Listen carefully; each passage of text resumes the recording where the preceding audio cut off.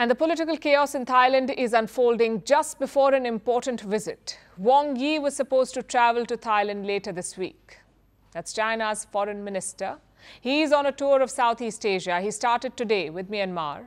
Wang Yi is meeting top military leadership, the top military leadership in Myanmar. Remember, the junta is in power in Myanmar. They led a coup three years ago and they have been ruling since. Over the past few months, They've been facing challenges from rebel groups. They've lost control of a military base on the China Myanmar border. The rebels have taken over. And Beijing is not happy with the generals. Throughout this conflict, China has tried to play mediator, and now it is pushing the generals to accept a ceasefire. But will the junta agree? Our next report tells you more. It's a visit that's got the world's attention. Wang Yi is visiting Myanmar. He's supposed to meet Min Aung Hlaing, the country's military leader. The circumstances in Myanmar perhaps made this sit down a necessary one. Myanmar's military junta has suffered a big setback. They lost control of a key military base in Shan. The rebels have taken it over. Myanmar soldiers couldn't defend their positions. The rebels overpowered them. So ultimately, they had to withdraw. The losses in Shan are worrying for Beijing. Shan is a border state in northern Myanmar. It shares a boundary border with China. Shan is crucial for the border trade between the two neighbors. It's also vital for Xi Jinping's Belt and Road Initiative. So this is a security nightmare for China. China pays great attention to the situation in northern Myanmar.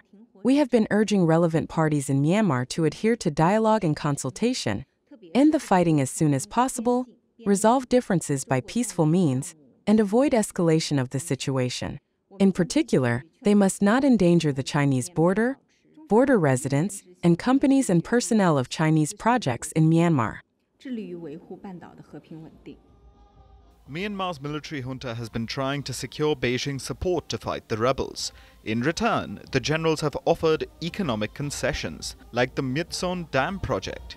It was suspended more than 10 years ago. This was after a massive public protest.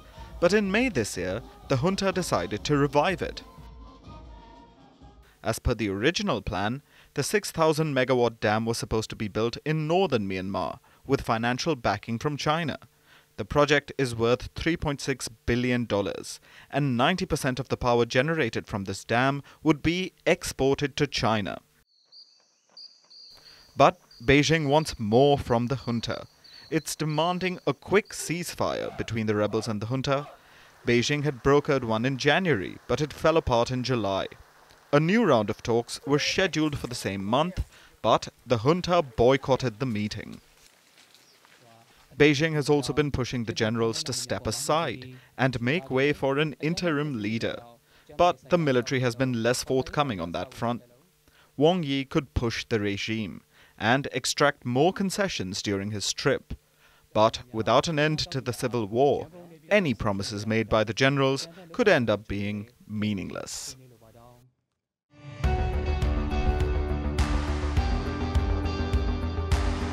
Across continents, one powerful news source. Bringing you diverse perspectives on the issues that matter.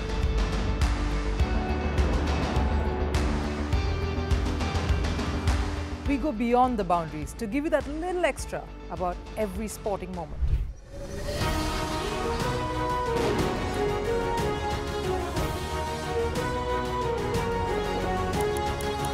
So thank you for making First Post 5 million strong.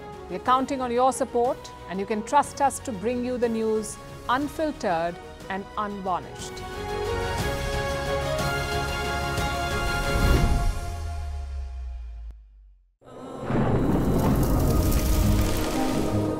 Climate change is on our doorstep. It's time for a revolution to take root. And it starts with 1.4 billion Indians.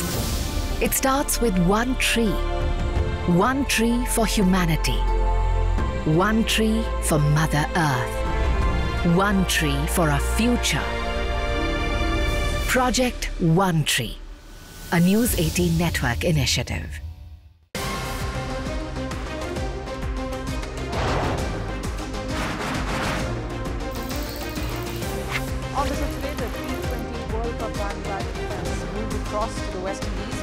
Hello,